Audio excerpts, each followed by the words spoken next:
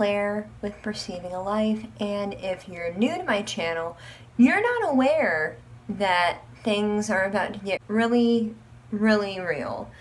Um, today, or tonight, or today, or whatever you got, it is almost after midnight. I am not asleep.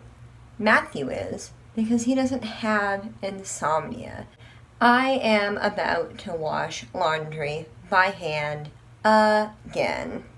I just made a live video about how I have a washer and dryer, but my washing machine doesn't ad adequately agitate um, in such a way that it dissolves my homemade laundry soap. And my dryer gets hot, but it doesn't spin. And it's been about um, like 4.5 million years since we put in a maintenance request for that. I'm going to prep this and wring it out to the best of my ability and then hang it up tomorrow morning when I wake up, assuming that I go to sleep.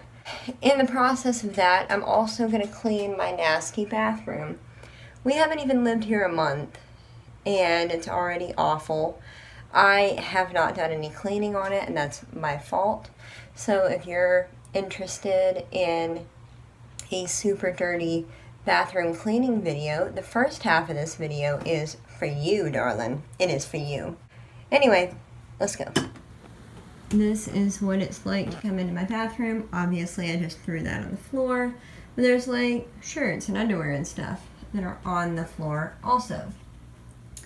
My counter's gross. All of that has a home, but it's not in it these like bags and stuff here. There's another one over there. I take those and I put my phone in them so that I can take them into the bath with me. And then um, that's a smoothie cup because I like to take baths and have smoothies and watch YouTube videos. Um, we have super rusty water. So like it looks like I have pee in my toilet, but I for sure don't have pee in my toilet. My garbage is almost overflowing. I'm going to take care of all of that. Um, I do have a nice floor length video if you want to see my phone and how fat I've gotten. Um, but yeah, all of this is about to get taken care of, including my ring around the tub. So, here we go. If you're interested in the laundry portion of this video, I recommend that you go ahead and skip forward to that. If you're interested in the cleaning part of this video, just keep watching. The products that I use are the Mr. Clean Multi-Purpose Spray and the Mr. Clean Magic Eraser, as well as some paper towels in this video.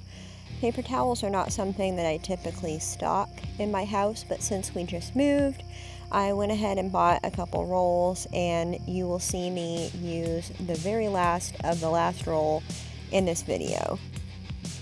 If you're interested in learning about what we do instead of paper towels and how we manage it, let me know in the comments and I'd be happy to make a video about it. Now I'm aware that I promised a really dirty bathroom cleaning video. If you are like me and your dirt standards are a little bit higher than average, um, it doesn't look as dirty as it really was.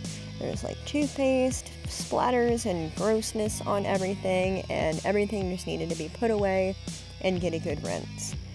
If you really just like tidying videos, that's pretty much what this looks like. At this point, I would like to give you a free production tip. I have duct taped my phone for this clip to my shower wall Sometimes I like to duct tape it to cabinet doors so that it can swing and give different views as needed. If you don't have a tripod or any good production equipment, it's really not the end of the world. I'm literally using an iPhone and some duct tape. Lastly, I would like to direct your attention to this awesome free CC0 music that I downloaded. If you want to know where I get it and others like it, check out the description box below. It is ripe and ready for the downloading. Enjoy! We are half an hour in. I have swept. I've changed the bath mat. Um, I've cleaned off the counter and I haven't put a new hand towel here because it's not clean yet. I cleaned that mirror and this mirror. Hi. Um, I've cleaned the toilet. And then I pulled this too just to show you that like my bathroom was clean, you know. Uh, but if you actually pull it back, you'll see my clothes sitting in it. I have not nearly finished filling the tub, um, but I have got my laundry soap in here. I put it in with the hot water first and I agitated it manually to get it all to dissolve. And then uh, now I'm putting my laundry in here. I'm going to fill it the rest of the way up, fully submerge all of my clothes and let them soak for like 15 minutes while I do something else. I have finished what I was doing in the other room and these have been soaking for several minutes. They look pretty gross, but that is a thing that happens. You lose a lot of dye in the water, so it's usually that rather than actual like dirt. So um, I'm just going to process these like I usually do, but first I'm going to get my phone ready. So as I mentioned before, I keep these little like snack Ziploc bags around so I can put my phone in it and not worry as much when I am either in the bath or working with something wet or whatever. Um, so you are about to go in the bag. So if you have seen my previous washing laundry by hand uh, videos, then I you know, you'll know that I stomped on the clothes. I'm not really doing that here. My bathtub up where you are duct taped to the shower wall slopes really hard, which is awesome for soaking in the bath. Not so awesome for soaking laundry and like stepping on it to agitate. So now I just use my hands um, and agitate and get everything moved around. And you'll see like, it looks super, super dirty. The water does. Um, and like I was saying earlier, that's usually because of the dye and the clothes. And a lot of these are really dark. And this actually is a new skirt. I don't think it's ever been washed before. So I probably should have taken some of my whites out, but um, what I've got in here are undershirts, so I'm not too worried about them losing their luster. So I'm just gonna agitate these around a little bit and really try to force water through the fibers of the clothes and then if I have something uh, like underwear or socks that I know don't always get as clean as I would have liked um, if I don't pay them special attention I'll just grab them and like this is a sock and so I'll I'll work with it and I'll maybe take a couple of socks and really just agitate those individually and then as I get done I'll shove everything this way and let the water out of the tub drain it as much as I can and then we will get ready for our rinse cycle. I have all of my laundry agitated to my liking and shoved this way and I've just pulled the plug out of the water. It's draining now and just be extra careful to make sure that your clothes are packed up to the side uh, because as I've said before there are a few things in the entire world that are more unpleasant than having a sock or something sucked down your drain. Don't forget to add your vinegar or liquid fabric softener to the rinse cycle. We are in the heart of the rinse cycle. Um, these clothes got kind of soap bound, so as I rinse them, I'm going to feel whether or not I feel like I'm getting all of the soap out of them.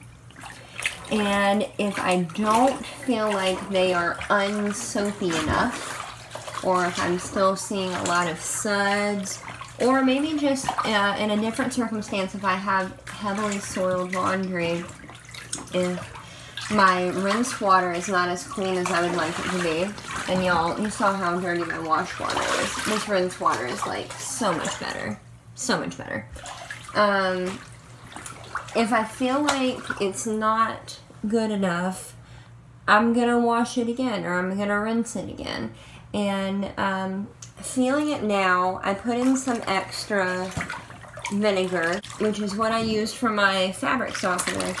Um, I put in some extra of that because sometimes when you have really hard water like we do, um, it feels like it's extra soapy. And so just adding a little bit of extra vinegar will help to cut that in the rinse cycle. And I think it's done the trick this time. But if it doesn't, then I'll just rinse it and then I'll fill it up and I'll rinse it again. So this will end up being a single rinse. The same rules apply. I'm going to try to force as much water as I can through the very fibers of the clothing to help remove any dirt and grime and grease and stuff that may be in them. These, I did a pretty good job agitating them so they look and they feel really good. It's almost, I don't know if you can hear this, but it's like squeaky clean on my hands. So that's a good indicator that the water is good for a rinse cycle if you're using vinegar. If you're using conventional fabric softener, like a liquid fabric softener, then it's not going to be squeaky clean because you have a lot of wax and parabens and oils and things that are in that that are not going to allow for that to happen. So I'm just going to go through and in a similar fashion, I'm going to go through and rinse everything as I see fit. Shove it back this way and then let the water out again and then we'll begin wringing everything out. We are in the wringing out portion of the video and um, my water's not done draining out, but you don't have to wait for it to drain all the way out before you start wringing your clothes out. If you are um, older or if you suffer from chronic fatigue or low muscle tone, I might sit and wait for it to drain out and let it like trickle down for 10 or 15 minutes or so uh, before you start wringing it out just to make it a little bit easier on you. Or even if you're just new and uh, you're not quite ready, you haven't built up the muscles for it, um, I might wait a few minutes. But I'm going to go ahead and just jump right in. So if you've watched my previous video, you know that the bane of my existence um, are pants and towels. But if you watched my last live stream, then you'll know that I've recently started wearing uh, dresses and skirts exclusively. So my new pain is wringing out maxi skirts. So you'll get to see me do all three of those just right now.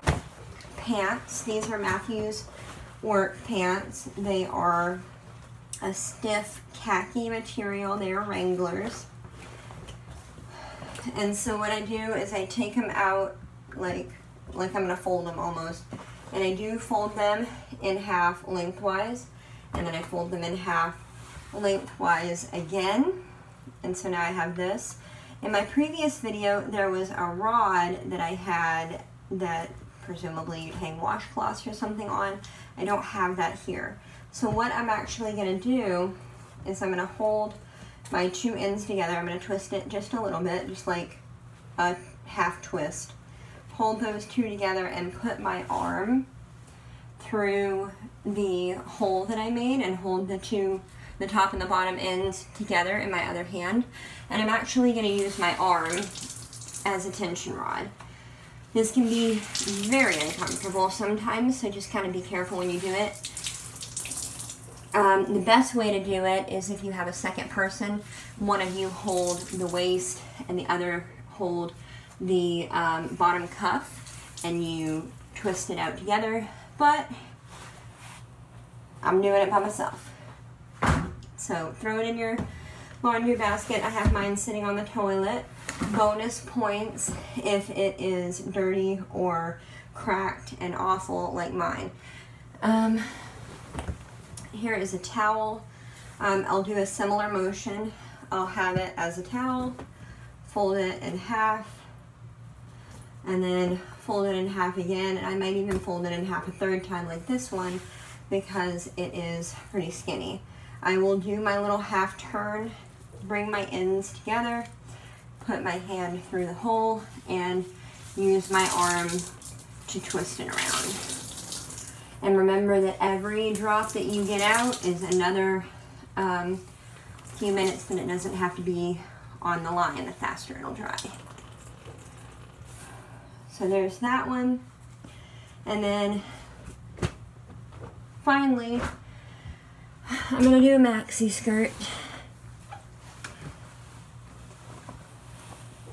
Gotta figure out which end is which. And you're gonna treat it like a towel basically. You'll have it as a maxi skirt, fold it in half, and then fold it in half again. Just make it skinny. Do your half turn, bring your ends together, put your arm through, and bring it out. This one's not gonna wring well. It's too stretchy. And my ends aren't meeting up nicely. Let me try this again. There we go. All right, round two. This does wonders for insomnia, by the way, because I needed to do something physical to wear myself out and be ready for bed. And this definitely helps. I've wrung it out a little bit, but it's this material is just not willing to give up a lot of water, so it will have to be out for a while. Um, my laundry basket that I'm using, I don't know if you can tell, but there's like um, like a two inch lip before the bottom. If it sits overnight like mine is going to, all of that water that's going to drain off is going to drain to the bottom and I recommend having one that doesn't have cracks or anything at the bottom if you're going to leave it for an extended period of time so that it doesn't leak all over your floor. But um, I'm going to go ahead and just finish wringing everything out and I will be back with you here in a few moments. Alright, I might actually be able to sleep now. I'm so sweaty I'm so hot I'm covered in water and stuff and anyway, uh, I hope you enjoyed the video. I hope you found it informative. I hope that this doesn't find you in a time of need, but I know that you know, when I was looking for this kind of video, I was in a time of need. So um, if that is you, then I pray that better times will find you, and I'm pretty positive that they will find you. Um, I just hope that you also go out looking for them. So anyway, I hope you enjoyed the video, like I said, and uh, thanks for watching. I'll see you around.